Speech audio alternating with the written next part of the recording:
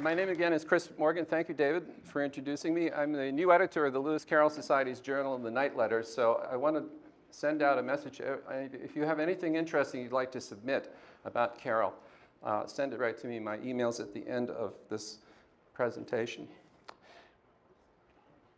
So my new book is The Pamphlets of Lewis Carroll, Volume 5, Games, Puzzles, and Related Pieces. For about 20 years now, the Lewis Carroll Society has been assembling all of Carroll's 200 plus pamphlets into uniform book editions. So the first four volumes are about math, logic, and politics. The fifth volume that I just completed is about his games and puzzles, and there are over 20, uh, 20 of those pamphlets. And they cover all kinds of topics, castle croquet, puzzles from Wonderland, anagrammatic sonnets, uh, a way to remember things, so on and so forth. We'll go through a few of these in the few minutes that I have. Carroll was actually very serious about games and puzzles, and the two Alice books have major game themes. Alice's Adventures, of course, is cards with the Queen of Hearts and so on. And Looking Glass is a surreal chess game. So we'll try to cover some of these. I'm going to show you CLD is Charles Lutwidge Dodgson, and that stands for his nose trick, which he loved to carry around with him, and he did this with it, which is uh, it's rather painful, but one has to suffer for one's art, I think. By the way, if you want a seat all by yourself during rush hour on a bus or subway, you will thank me later. Oh, spoiler alert, it's not actually going through my nose at all. But, so Saul Bobroff made this for me because the originals are virtually impossible to find. That's what it looks like. Saul will sell you one for 40 bucks. They're fun. They're fun, and you really do get seats. Uh, this is Carroll's circular billiard table design. It has three spots, those small white triangular spots, and three balls. And when I went to the Rosenbach Library in Philadelphia to give a talk about the book, they had actually built one, and you can go and play it. And they're, they're wonderful. Alice exhibit goes through this May, so if you're in Philly, go check it out. It's wonderful, and it's really quite nice. In the course of my research, I found a totally new, undiscovered Carroll mechanical puzzle that he had designed. And these pages I'm going to show you are from the same pages in, in Princeton that Stuart Moskowitz was looking through in greater detail in his wonderful talk this morning about the 64-65 paradox. So thank you, Stuart, for the plug for the book. Uh, and Carroll is actually trying to wrap a string around a cube following various guidelines. Let's take a closer look at it here. So in one case, you're allowed to loop the string around the cube. And he also came up, and there's a detail of uh, an exploded view. And he also came up with a way to do it without crossing the string. So he never published it. It's just on the back of a page in there, very interesting. He always loved uh, mechanical puzzles. This is one that he carried around with him. It's very rare. Uh, James Dalgety loaned me a picture of it. It's the only one I think that exists.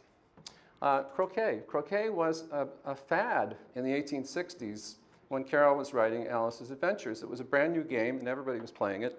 And uh, it looks like this. It, you take two complete croquet sets. And I think it's the best croquet game there is. It's really wonderful. If you like croquet, I definitely suggest that you check it out. Here's Alice playing croquet with a flamingo. You might see this is familiar from the Alice books. But when he drew Alice's Adventures Underground and gave it to Alice Liddell, he drew her playing with an ostrich, oddly enough, but that got changed later on. Carroll's most popular pamphlet was doublets, and you still see it today in crossword puzzles, but it's now known as a, as a word ladder. And it's a very simple game. Let me go back to that page. You start with a word like word, and you want to get to the, the bottom word, which is game. So you change one letter in Word to get another real word like ward, and then you change another letter and so on until you get to game. The fewer steps you go, the more points you get. And this ran for a long time, and this is my, my favorite, is Evolve Man from Ape. It was kind of fun. Ape, R, R, Year, Year, Mar, Man. Uh, so these columns in Vanity Fair ran for almost two years. It was very successful, and people would enter the contest. And Carroll was the, the puzzle master. He loved it. He would have definitely been a blogger today. Now, interestingly, you can do doublets with Chinese ideographs. And Howard Chang in Hong Kong has figured out how to do it. And so here you go. To get from male to female, you use addition, substitution, and deletion of the ideographs to get from one to the other. And in fact, it takes six steps to get from tears to smile in English, but only four steps in Chinese. I thought that was interesting. Donald Knuth is fascinated with doublets and has come up with all sorts of amazing variations. He also used a computer program to calculate all the five-letter words that cannot be transformed into any other word by changing one letter. And he calls these aloof words. Interestingly, one of the aloof words is aloof.